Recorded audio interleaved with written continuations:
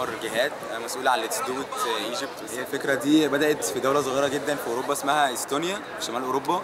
آه، بدأت في 2008 جمعوا 50000 آه، متطوع يعني ونظفوا آه، بلدهم. جمعوا في اليوم ده بس يوم واحد جمعوا 90 مليون طن آه، زبالة.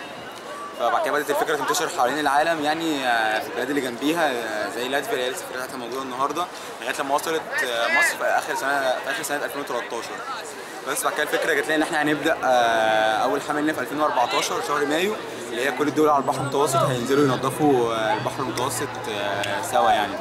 والمرة اللي فاتت قعدنا نجمع بس مع أصحابنا وناس نعرفهم وكده ما كان عدد قليل جدا نزل المرة اللي فاتت يعني. بس السنة دي والحمد لله بدأنا نعمل دعاية لنفسنا على الفيسبوك والفلايرز وكده. جه عدد أكبر يعني إن شاء الله مش نفس اللي كان نفسنا فيه بس إن شاء الله المرة الجاية هنجمع عدد أكبر يعني. طبعا دي أول مرة أجي الحملة دي فأنا طبعا مبسوط الناس عايز تنزل تشارك وتنظف. آه لسه كنت بقول للأساتذة هنا القائمين على الحملة إن إحنا عايزين نعملها مش مرة في السنة إحنا عايزين نعملها مرة في الأسبوع.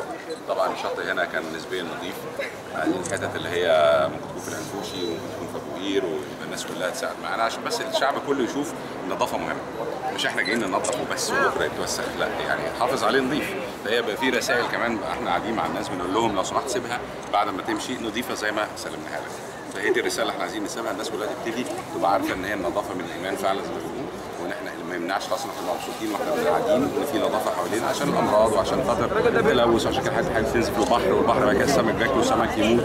هي يعني عملية دايرة كلها لازم تكتمل يعني. طب هل ممكن نلاقي بقى يعني إن شاء الله حملات زي دي مش في الشواطئ ممكن في الشوارع بعد كده؟ لا هو حصل فعلا في الشوارع بس يمكن أنتوا ما غطيتوهاش لكن هو حصل قبل كده في, الشاطبي وعايزين نخش بعد كده بقى على زي ما قلت لك المناطق كلها بتبوس ونخش على رايحين النهارده فرشد النهارده في حملات تنظيف ورايحين في حملات توعية صحية فيعني في نشاط في اسكندرية ملحوظ شوية إن إحنا هنتحرك في الاحواء في الأجواء كلها اللي هي تبقى إيه ثقافة.